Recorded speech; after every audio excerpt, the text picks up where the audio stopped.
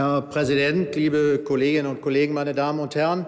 Für viele Menschen sind Kinder ein wesentlicher Teil ihrer Sehnsucht und Suche nach dem Sinn des Lebens. Der Deutsche Ethikrat nennt die Geburt eines Kindes die biologische Manifestation der Gemeinsamkeit. Und die Geburt der Kinder ist wohl eine der emotionalsten Erfahrungen, die ein Mensch Zeit seines Lebens machen kann. Meine älteste Tochter hat am 27. Januar unser fünftes Enkelkind, Valentin Janne, zur Welt gebracht. Und ich kann selbst als Großvater empfinden, wie emotional dieses Erlebnis ist. Geht ein Kindeswunsch auf natürlichem Weg nicht in Erfüllung, dann kann das, und die Kollegin hat das gerade eindrücklich geschildert, für das Paar eine riesige Belastungsprobe werden. Dennoch, ein Recht auf ein Kind gibt es nicht, denn eine Garantie auf ein Kind kann keiner geben. Aber die Medizin von heute bietet etliche Möglichkeiten, durch künstliche Befruchtung eine Schwangerschaft herbeizuführen. Und damit stehen Paare mit unerfülltem Wunsch vor der Frage, ob und welche der Möglichkeiten, die uns die reproduktive Medizin bietet, sie in Anspruch nehmen wollen. Aber ehe Möglichkeiten der reproduktiven Medizin genutzt werden, müssen die Paare abwägen, ob und bis wohin sie sich mit dem Verhältnis von Belastung und Risiko einverstanden erklären wollen, denn der Weg über die reproduktive Medizin ist kein einfacher Weg.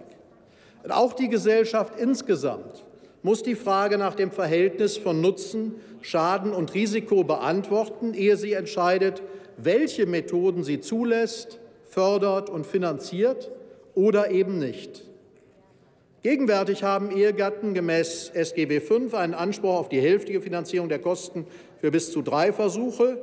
Voraussetzung ist, dass die Maßnahme ärztlich indiziert ist, ein Aufklärungsgespräch über medizinische und psychosoziale Gesichtspunkte erfolgte und die Ei- und Samenzelle von den Ehepartnern stammen. Die Förderung gilt für Frauen vom 25. vom vollendeten 25. Lebensjahr bis zur Vollendung des 40. Lebensjahres.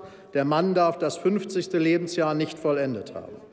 2012 hat die damalige christlich-liberale Bundesregierung beschlossen, sich über die durch die Krankenkassen gewährte Förderung hinaus finanziell an den Maßnahmen der künstlichen Befruchtung zu beteiligen, anders als im SGB V für die erste bis vierte Behandlung. Der Bundeszuschuss fließt aber nur, wenn das jeweilige Bundesland mindestens in gleicher Höhe beschlossen hat. Sie haben ja darauf hingewiesen, dass Nordrhein-Westfalen jetzt nach dem Koalitionsvertrag dabei ist, das vorzubereiten. Das verweist auch darauf, dass in der Zeit der vorherigen rot-grünen Landesregierung auch Nordrhein-Westfalen sich daran nicht beteiligt hat. 2015 wurde die Regel auf nicht-eheliche Lebensgemeinschaften ausgeweitet. Davon war schon die Rede. Aber in der Richtlinie der Bundesregierung heißt es, dass es sich dabei um eine Gemeinschaft zwischen Mann und Frau handelt, die auf eine längere Zeit und Dauer angelegt ist, keine weitere Lebensgemeinschaft zulässt und sich durch eine innere Bindung auszeichnet. Also nicht jede Beziehung, sondern Beziehungen, die diese Anforderungen erfüllen. Und dass nur Paare von einer Förderung profitieren können, die in einem Bundesland leben, das sich auch in gleicher Weise wie der Bund beteiligt.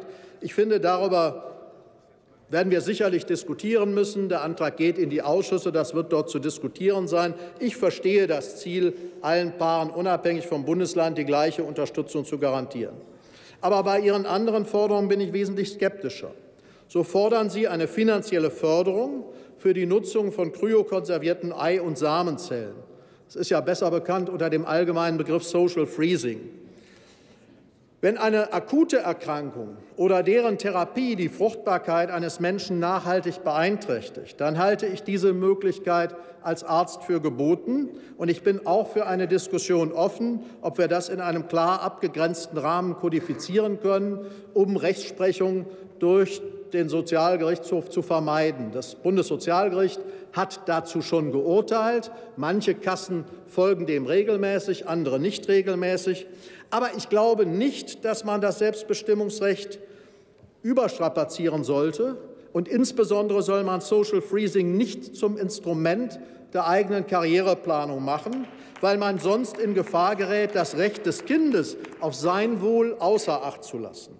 Und ohnehin müssen wir uns mit der Frage auseinandersetzen, ob wir alle technischen Möglichkeiten, die mit den rasanten Fortschritten in der Reproduktionsmedizin verbunden sind, einsetzen wollen oder nur solche, die einen krankhaften Gesundheitszustand korrigieren.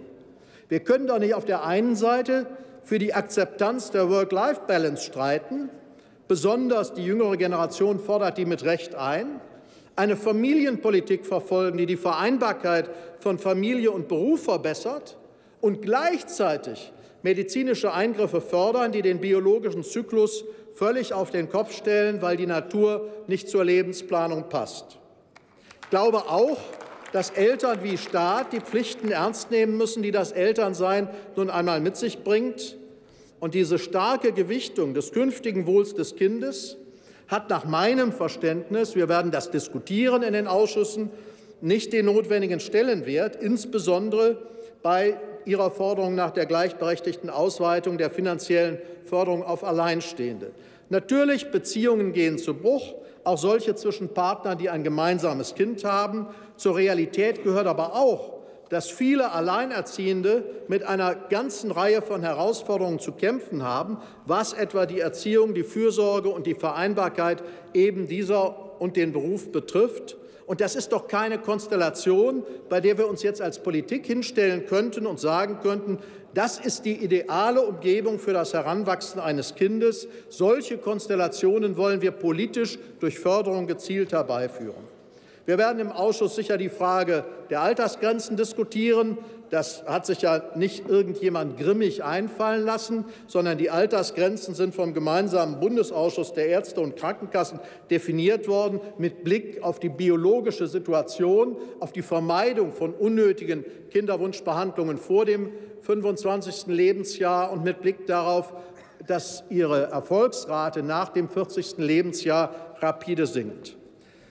Im Juli 1978, also vor fast genau 40 Jahren, kam in England das erste sogenannte Retortenbaby zur Welt. Seitdem hat die Reproduktionsmedizin eine rasante Entwicklung genommen. In Deutschland gibt es mittlerweile über 130 Reproduktionszentren. 2016 über 100.000 Behandlungen. Herr Kollege, 2000, kommen Sie zum Schluss. Ich komme zum Schluss. 2015 wurden mehr als 20.000 Kinder nach einer künstlichen Befruchtung geboren. 2011 waren es noch 7.000. Ich möchte, dass wir immer wieder hinterfragen, ob wir uns von dem, was im Labor möglich wird, treiben lassen wollen. Ich glaube auch hier, dass bewusste Entscheidungen benötigt werden. Das Mögliche ist nicht automatisch auch das Richtige. Ich danke Ihnen für Ihre Aufmerksamkeit. Vielen Dank, Herr Kollege Henke.